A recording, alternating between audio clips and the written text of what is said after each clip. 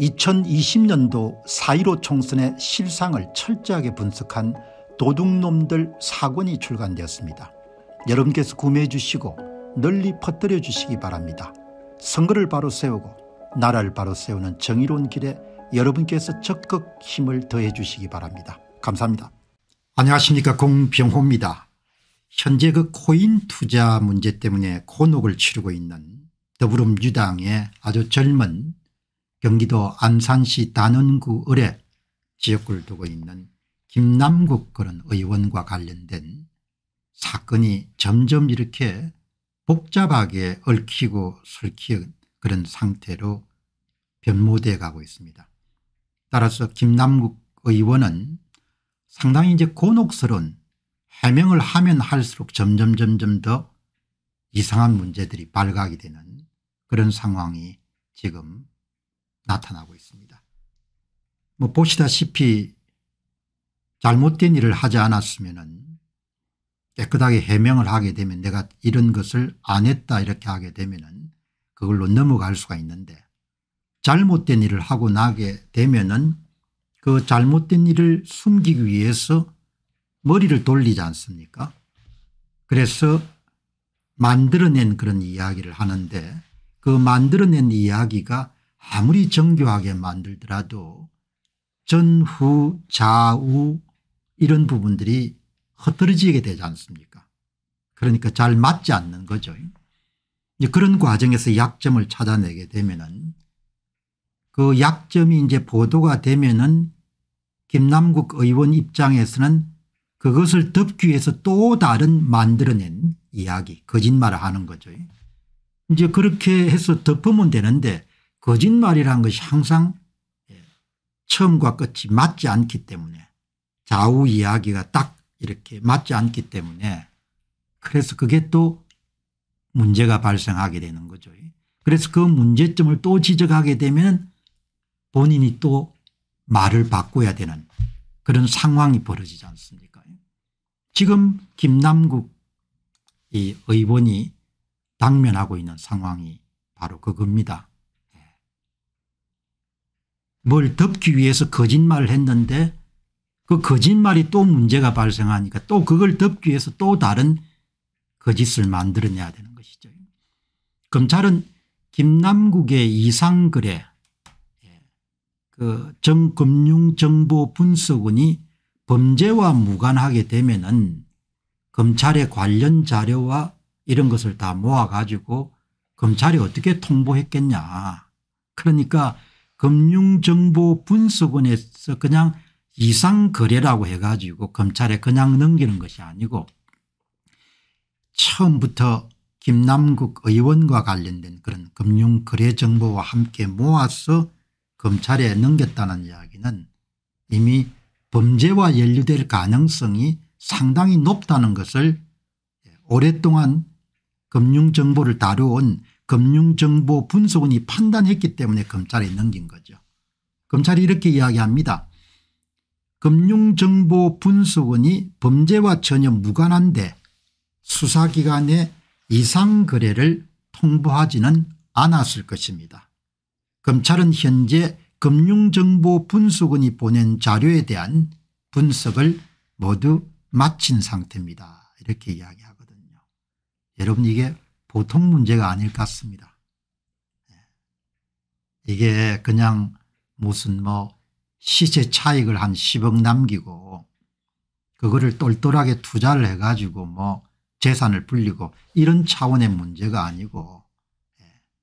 이 본인이 산 코인이 그게 외부에서 유입된 그런 정황들이 지금 속속 나오는 겁니다. 그러니까 참 문제가 크네요. 이제 그 당시에 검찰이 김남국 의원의 이상거래와 관련해서 법원에 압수영장을 청구했지만 기각된 바가 있다. 자금 흐름만 파악하게 되면 검세 사건을 종결할 수 있지 않습니까 이게 나오네요. 돈의 흐름을 봐야 되는데 이제 압수수색이 이제 현직 국회의원이고 하니까 아무래도 쉽지 않았겠죠. 그래서 조기에 종결할 수 있는 사건 뭐 돈의 흐름만 볼 수 있으면 아주 빠른 시간 내에 종기를 할 수 있었는데 그게 예의치 않았다는 것이죠. 한 법조인은 계속해서 의혹이 제기되고 있는 상황이기 때문에 영장 재청구가 불가피해 보입니다.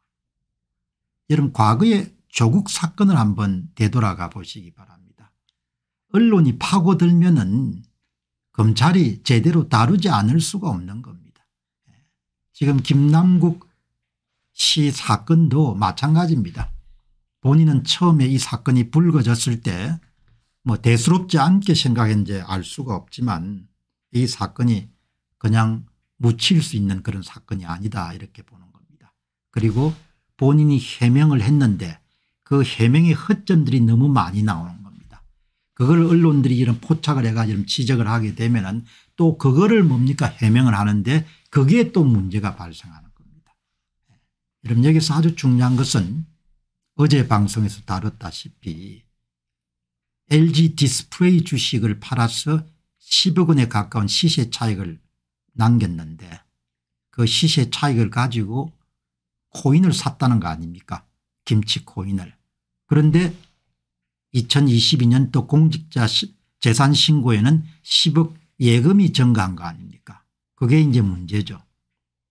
그런데 그 보도가 여러분들 광범위하게 유통되기 시작하자 김남국 의원이 해명을 했습니다. 아 어제 이야기한 거하고 좀 뭐 내가 어제는 이야기 안 했지만 그 코인 가운데 일부를 환전해 가지고 원금은 회수했다 이렇게 또 이야기를 한 겁니다. 원금을 회수했다는 겁니다. 원금 회수했다는 이야기는 7일 날 발표한 해명서에는 전혀 들어있지 않거든요. 그러니까 언론들이 약점을 지적하자 어? 당신이 그럼 코인 이름들 주식 팔아가지고 시세 차익 가지고 코인 다 샀는데 어떻게 2021년하고 2022년 사이에 공직자 재산 신고에서 10억 원의 예금이 늘었냐? 그거 소명하라. 이렇게 왁왁 거리니까 아 9억 7천만 원인가? 원금은 예, 코인 팔아가지고 해소했다. 이렇게 이야기를 하는 겁니다. 그러니까 벌써 이제 뭐 이게 다른 거죠. 예. 그러니까 5월 7일 날 해명한 거하고 그다음에 어제 또 해명한 게 다른 겁니다. 이렇게 이제 거짓말을 하게 되면은 말을 꾸미게 되면은 계속 이제 거짓말을 덮어야 되니까 마지막에는 이제 뭐 스스로가 갇히는 그런 상황이 되는 거죠. 말을 바꾼 거지 않습니까 코인 수익이 낮아 원금 9억 8천만 원을 예금으로 돌렸다. 이제 소명을 한 겁니다. 본인은 뭐 이렇게 해서 넘어갈 걸로 생각했겠죠. LG 디스플레이 주식 매각대금 9억 8천만 원으로 코인을 샀고 코인이 오르니까 투자 원금인 9억 8천만 원을 회수했다. 회수한 원금으로 안산과 여의도 오피스텔 전세 보증금을 지출했다 이렇게 이야기를 했거든요. 그 이제 그러면 소명이 되는 걸로 본인이 아마 생각을 했을 겁니다. 그런데 뭐 인출은 440만 원밖에 안 했다고 그렇게 또 이야기를 했는데 그런데 이제 민주당에 아마 본인이 소명을 한 모양입니다. 민주당 의원들 일부 의원들과 함께 예. 코인 투자 원금을 뺀 시기를 특정하지도 않았고 무엇보다 위믹스 등 코인 투자 내역을 소상히 밝히지 않고 있었다. 예. 민주당의 한 경제통 의원은 지금까지 해명한 것만으로 숫자가 전혀 맞지 않으니 이게 문제면 숫자가 안 맞는 겁니다. 예.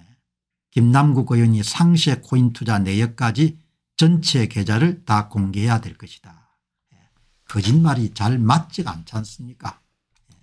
주식 팔아서 가상화폐 구입한 게 아니네 김남국 씨를 크게 혼란스러운 그런 곤혹스러운 상태로 밀어붙일 수 있는 것이 바로 나온 겁니다. 주식을 팔아서 가상화폐를 구입한 게 아니라는 겁니다. 이게 만일 사실이라면 김남국 씨가 처음부터 모든 것을 거짓말을 하고 있다는 것이죠. 김남국 씨가 주식을 팔아서 가상화폐를 구입한 게 아니라는 겁니다. 김남국 씨가 거짓말을 하고 있다는 겁니다. 어제 여러분들 말씀드렸던 김남국 씨는 단산구 을의 5개 동 40개 투표소에서 모두 다 사전투표를 조작해가 여러분들 성부를 바꾼 그런 국회의원 당선자죠. 원래는 미래통합당의 박순자 후보가 압도적으로 승리한 것을 사전투표 조작을 해가 승부를 바꿨지 않습니까 그런데 지금 나타난 것은 뭡니까 뭐 국회의원 뺐지만 가짜로 단 게 아니고 국민들한테 거짓말한 겁니다. 주식을 팔아서 가상화폐를 산 게 아니라는 겁니다. 그거를 전문가들이 밝혀낸 겁니다. 그러면 세상에 공짜가 없지 않습니까 누군가 가상화폐를 주었다는 겁니다. 누군가 가상화폐를 김남국에게 준 겁니다. 그런 의혹을 살만한 것이 지금 밝혀진 겁니다. 이걸 어떻게 해명할 겁니까 김남국이 이뻐서 여러분들 코인을 수백만 개 줍니까 김남국이 잘생겨서 여러분들 코인을 수백만 원 여러분들 줍니까 아닌 거죠. 큰일이 난 겁니다. 본인이 여러분들 해명서에서 이야기한 단서를 가지고 예, 암호화폐 여러분들 전문가들이 역으로 김남국 씨 여러분들 계좌를 추적한 겁니다. 암호화폐 지갑으로 이체된 자산이 당초에 알려진 60억이 아니고 87억에 이르고 이 87억이 본인이 산 게 아니라는 겁니다. 주식을 판 자금을 업비트에 입금해서 암호화폐 투자했던 김, 김남국 의원의 주장과 다른 데이터가 공개됐다. 큰 사건입니다. 김남국이 LG 디스플레이 여러분들 주식을 팔아가지고 시세 차익을 남긴 다음에 그거를 갖고 여러분들 가상화폐를 산 게 아니고 누군가 가상화폐를 이체시켜 준 겁니다. 세상에 공짜가 어디 있습니까 왜 여러분들 이체를 시켜줬겠습니까 그게 지금 까발겨진 겁니다. 블록체인과 암호화폐에 대한 뉴스를 전문적으로 다루는 디지털 에셋은 5월 9일 날 김남국 의원의 암호화폐 가상지갑을 특정했다면서 이 같은 분석을 내놓았다. 점점 수렁에 빠지는 겁니다. 이체 증거를 발견한 겁니다. 본인 돈으로 산 게 아니고 예. 디지털 에셋은 김남국 의원이 공개한 암호화폐 지갑 클립 가입 날짜 2022년 1월 20일이라는 정보와 5월 7일 기준으로 세 가지 종류의 가상자산 잔액 정보를 토대로 김남국 의원의 클립을 특정했다고 설명했다. 역으로 추적한 거죠. 김남국 국회의원이 해명 기자회견에 제공한 두 가지 정보를 가지고 가상화폐 전문가들이 그 날짜에 계좌를 개설한 사람들 가운데 세 종목을 갖고 있는 사람들을 그냥 찾아낸 겁니다.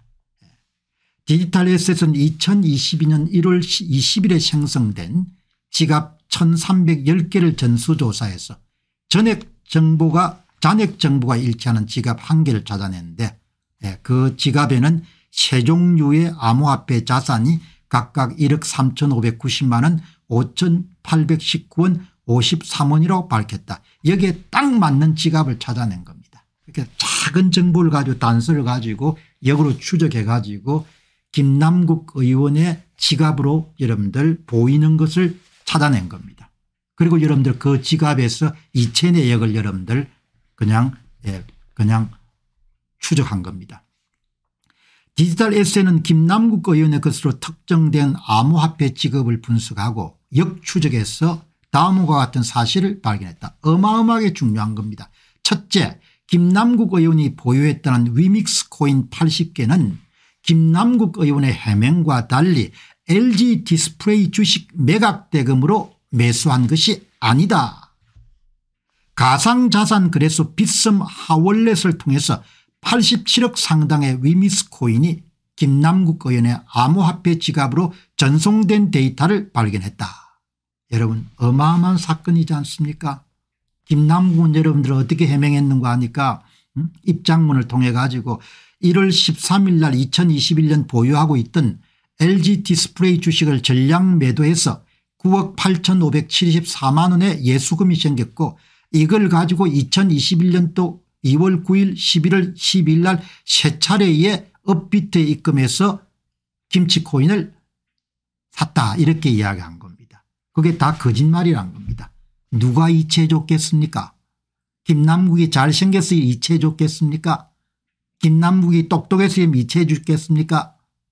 그게 아니지 않습니까 뭔가 이건이 있으니까 이체를 해 줬을 거라고 의심하지 않을 수가 없는 거죠. 예, 여러분들 전문가들이 예의하지 않습니까 마치 여러분들 제야 전문가가 선거 데이터를 가지고 이런 문제점을 발견하는 것처럼 김남국의 입장문을 통해서 나온 딱 두 가지 정보 매달 며칠 날 계좌를 열었다. 그리고 그, 그 계좌에는 세 종목이 있다. 그걸 역으로 가가지고 그 날짜에 이런 계좌를 개설한 사람을 추적한 다음에 세 종목을 지금까지 갖고 있는 사람을 딱 찾아낸 겁니다. 확정된 사실은 아니죠. 그러나 김남국 의원의 지갑으로 추정되는 것을 딱 보니까 본인이 산 게 아니고 누군가 가상화폐를 이체시켜 준 겁니다. 공짜로 준 겁니다. 공짜로 누가 줍니까 예? 그걸 이제 밝혀내야 되는 거죠. 코인 80만 개 87억 상당의 위믹스 코인이 김남국 의원의 암호화폐 지갑으로 전송됐다는 겁니다. 위믹스 코인이 2022년 1월 20일 세 차례 걸쳐서 42만 위믹스 당시 가격으로 27억 6천만 원이 이체됐고 2022년 2월부터 3월까지 90만 위믹스 당시 가격 59억 4천만 원이 이체가 된 겁니다. 전혀 김남국의 해명하고 다른 겁니다. 여러분들 다시 한 번 더 정리하게 되면 핵심은 뭔고 하니까 김남국이 주식 투자를 해서 예, 시세 차익을 누려서 한 10억 정도를 가상화폐에 투자했다는 것이 아니고 예, 전문가들이 추적해 보니까 1월 21일 날 세 차례 거쳐 가지고 27억 6천만 원에 상당하는 42만 개를 여러분들 누군가 이체시켜주고 그다음에 2월부터 3월까지 59억 상당의 90만 개의 여러분들 가상화폐를 누군가 이체를 시켜준 겁니다. 누가 이체시켜줬겠습니까 그걸 검찰이 이제 찾아내겠죠. 뭐 본인은 기자들에게 온라인 가상자산 커뮤니티 등을 못 봤다. 그 부분을 확인을 못했다. 정확한 위믹스 거래 시점과 거래량에 대해서도 여전히 공개하지 않고 있다. 공개하기가 힘들 겁니다. 뭘 받은 거예요. 제가 볼 때는 제가 가상화폐 전문가가 아니지만 이 소위 전문 잡지에서 여러분들 보도한 내용만 가지고 보면은 아, 이 양반이 뭘 누군가로부터 받았을 가능성이 높구나. 예, 확정된 사실은 아닙니다. 그러나 이 보도를 가지고 예, 그냥 상식적으로 생각하는 사람들은 모두 다 42만 어, 개를 한 번 받고 그다음에 2월부터 3월까지 90만 개를 받았구나. 그게 과거에 여러분들 시세로 따지게 되면 85억 상당의 여러분들 가상화폐를 누군가로부터 이체받았다는 거죠. 공짜로 받았을 가능성이 엄청나게 높은 겁니다. 그러면 본인이 입장문에 밝힌 해명이 다 거짓이란 겁니다. 큰일 났네요. 업자하고 유착되었을 가능성이 높겠네요. 코인은 이런 정치인을 이용해 가지고 그걸 뭡니까 좀 띄워 가지고 코인 가격을 올릴 수 있지 않습니까 그런 조짐이 보이냐. 검찰이 철두철미하게 수사를 해 가지고 이 젊은 의원이 예, 하나는 지금 분명히 밝혀졌지 않습니까 거짓말이 주식을 팔아서 그 돈으로 가상화폐를 산 게 아니라는 겁니다. 두 번째는 뭐죠 가상화폐 42만 개 90만 개 132만 개를 누군가 김남국 의원의 계좌로 쏘아준 겁니다. 이체를 해준 겁니다. 누가 했죠 왜 했죠 이 문제인 겁니다. 네. 세상이 전체가 뭐 다 썩은 냄새가 진동하니까 이제는 뭐 코가 이렇게 익숙해져 가지고 뭐 놀라지도 않지만 어떻든 여러분 뭐 김남국 씨는 이 문제뿐만 아니고 아주 대표적으로 사전투표 조작을 가지고 미래통합당의 박순자 후보와 이런 승부를 바꾼 선거가 일어났기 때문에 광고 하나 드리겠습니다. 여러분께서 이 대한민국의 공직선거를 해부한 도둑놈들 1권 2권 3권 4권 이것을 대한민국 선거의 공정성을 확립하는 그런 운동에 힘을 다한다고 생각하시고 이것을 구매해 주시고 그리고 여유가 있으신 분들은 몇 건 더 구매하셔서 주변에 확산해서 우리가 다시 예, 조선시대로 돌아갈 수가 없으니까 참정권을 약탈하는 그런 세력들로부터 우리의 참정권을 지켜서 우리가 귀하게 여기는 그런 재산과 자유와 생명과 아이들의 미래와 우리의 노후를 그렇게 보호하는 운동에 동참해 주시기 바랍니다. 1권에 4권이 지금 나와 있고 그리고 이제 앞으로 여러분들 5건 6건이 아마 곧 지방선거와 교육감 선거를 다룬 내용들이 여러분 선을 보일 것입니다. 여러분 성원을 부탁드립니다. 감사합니다. 2022년도 대통령 선거의 실상을 파헤친 도둑놈들 2권 2022년 대선 어떻게 훔쳤나 그리고 도둑놈들 3권 2022년 대선 무슨 짓을 했나를 출판하게 되었습니다. 공직선거를 회부하는 도둑놈들 시리즈가 계속 나올 수 있도록 여러분께서 구매해 주시고 주변에 널리 알려주시기 바랍니다. 선거를 바로 세우고 나라를 바로 세우는 일에 여러분께서 힘을 대해 주시기 바랍니다. 감사합니다.